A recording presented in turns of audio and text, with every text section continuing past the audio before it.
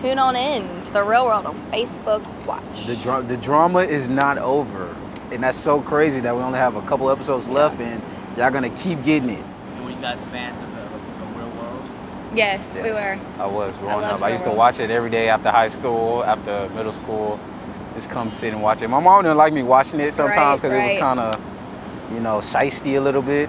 We were young. But yeah, mo- overall, I watched it all the time. Any any characters you relate to at all? Because growing up as a black gay man, you know, they they talked about a lot of issues and people were, Yeah. you know, out. Uh, I wouldn't say I relate because I feel like I'm my own person, but definitely the the growing up, the back the backstory of the black gay men that they had on there, I could definitely relate to, but not just as a person in general, but the whole coming up and coming out to my family and friends, and I could definitely relate to that aspect of it because I feel like I'm one of the one of a kind black gay Christian Republican that they've casted Yeah. on this show. So it's just like You guys are on Facebook. I mean, it's immediate. What are some of the comments or what's the feedback been like? I'm surprised. I've actually gotten, when I do read the comments, I've gotten a lot of love, surprisingly. I mean, of course, I see one or two, you know, negative Nancy's, but I just let it roll off my back. I don't really pay attention to them. uh, with me, it's kind of all negative Nancy's, but at the same time, it's like I, I was vulnerable and showing that side of me, and to have a self-reflection to look at it back on Facebook, and then me now, it's just like I feel like I have an overall growth. You know what I mean? So the bad comments, I feel like it's funny to me because they don't know me and they just don't know They that see this little bit Yeah. of part of the, you know, the 10 weeks we were living there. Exactly. They seen 20 minutes of all of this filming, so it's just like, I mean, you got to roll with the punches. You know what I mean? And what was your favorite uh, real world from the past? What- what was- My favorite real world was the 2004 San Diego season. I love Cameran um, Wimberly. She is one. She's the reason why I even applied for the real world. And so, um, Have you reached out to her, or you want to say something? to girl, you're the reason why I'm here, and uh, hopefully one day I can meet you because I would like to thank you for even letting me think about this journey. And have you spoken? I'm curious. Have you spoken to any past, you know, people that have been on Real Uh, World? I spoke to Cyrus. Uh, I spoke with uh, Corey. I spoke with Wes. I spoke with a few, you know, a few big names from Real World, and I mean, it's just been encouragement. You know, they don't down me. They don't do anything. It's just more so of giving us life lessons of like their past experience and our past experience, and like not letting it get us down, or just like to just keep progressing. You know what I mean? You guys do this experience again? Would you do it again? I, I would do it again, but just with different people, you know, just to get different views, some more different views, you know what I mean? yeah, I think that um, I think everything happens for a reason, and I definitely believe I was on the show for a certain reason.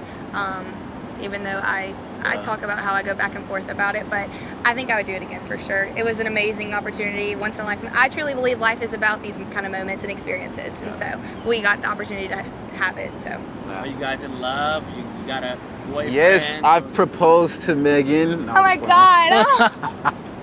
no, No, single yeah. as a Pringle. We- If you know of anybody, I'm looking for my husband, so please send him my way. Andre, what about you? Are you in lo- lucky in love? What's going on with you? Uh, I just, I'm not in love yet. I mean, I'm just trying to get adjusted to, you know, finding myself first. Then after I'm like complete in myself, that's when I want to venture out and kind of bring somebody in. You know what I mean? But I mean, I do date. I do, you know, the other stuff adults do. But um, I Like wouldn't what? say. Tell me more. like have important conversations. That's what I'm talking about.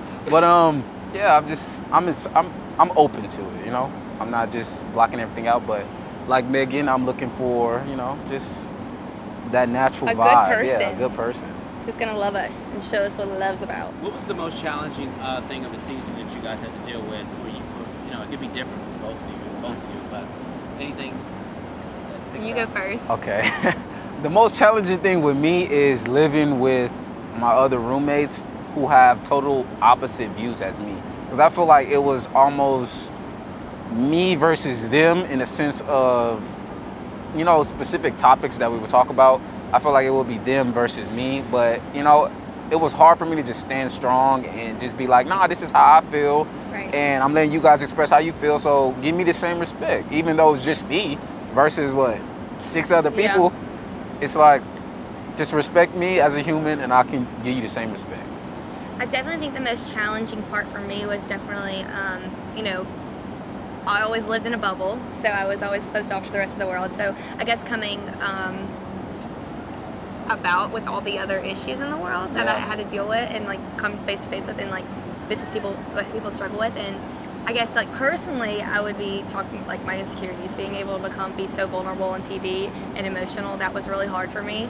Um, so I think those two things were the biggest. Didn't you guys forget the cameras were there, or did you always know that the cameras were there? I think in the back of our minds, we always we always knew they were filming, We- but at some point you get to the point where you're just saying You just like whatever. whatever. Were you excited to leave the house when it was all said and done?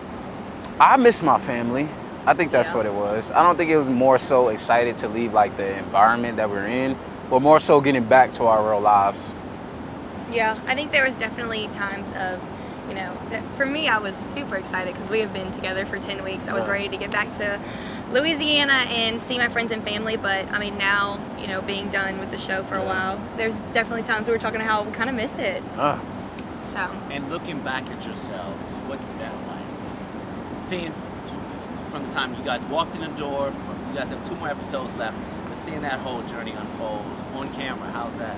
yeah, for me, it's just like, man, I didn't know that I was so oblivious and ignorant to certain aspects of my political views and my religion and my just a lot of things that I was just so self-centered about that my roommates helped me, you know, bring out. So looking back at that, it's kind of cringeworthy, but yes. at the same time, it's just like I'm glad I got that experience.